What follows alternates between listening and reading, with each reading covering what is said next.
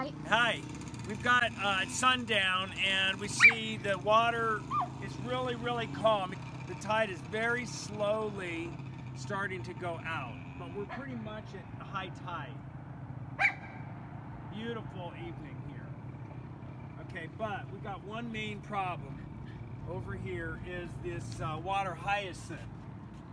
So what we're gonna do, we also have a few, I can see we got a few bottles. These are what we wanna get first. Is get these, these guys out of here, right? So that's bad, bad, bad, bad news. Plastics.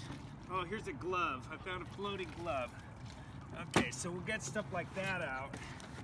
But I also, Whitney wants to play and participate. I mean, I got a bucket, uh, an old plaster bucket, and I'm gonna just simply grab the hyacinth and throw it into the bucket and try to get the water off of it a little bit.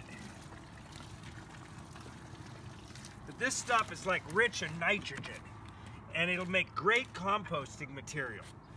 So what we're trying to do is we don't really like the hyacinth in the water, but we like it in the compost pile. So we can you can push it in there, smash it down, get pop the air bubbles that are in the plant.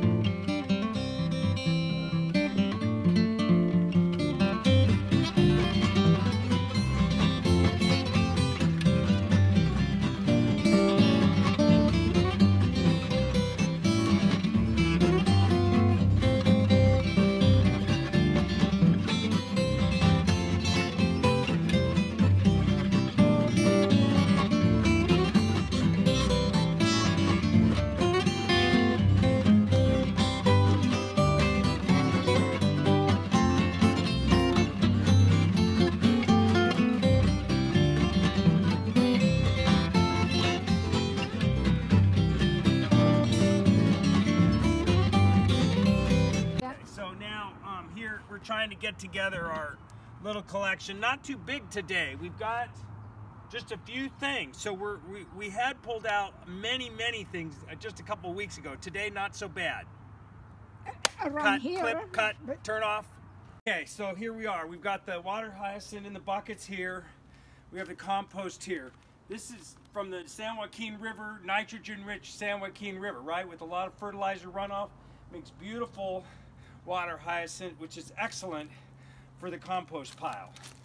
First, I've, got my leaves already piled up here, and I have all my kitchen greens and everything in here already. So I'm just gonna make up a little space here and take this stuff and just get it in there. One way or another, I try to pop all the balloons that I can and get this stuff to layer in. It will heat up, hit, heat this pile up unbelievable what this stuff can do. Now, so we go ahead and just basically mound this on there. And then what I'm gonna do is take some wood chips and stuff that I had from grinding. Never let your, never let the guy take away the, the ground up wood chips. Try to get that saved and you can use lawn clippings too if you want.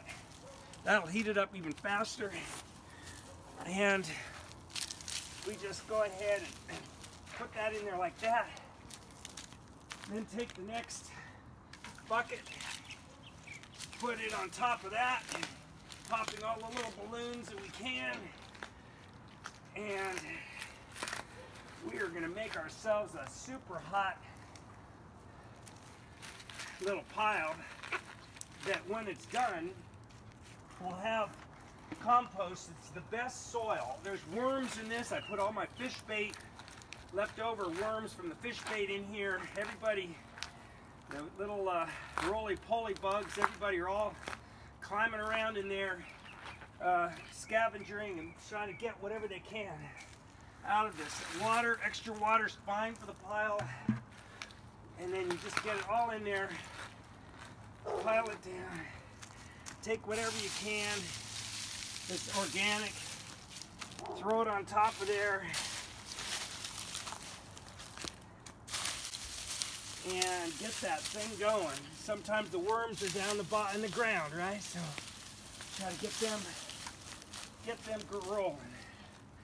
Get a little bit more of this stuff. And then tomorrow, Linda will probably have something out of the kitchen greens that she can add to this and the pile will continue to grow. And there you have it.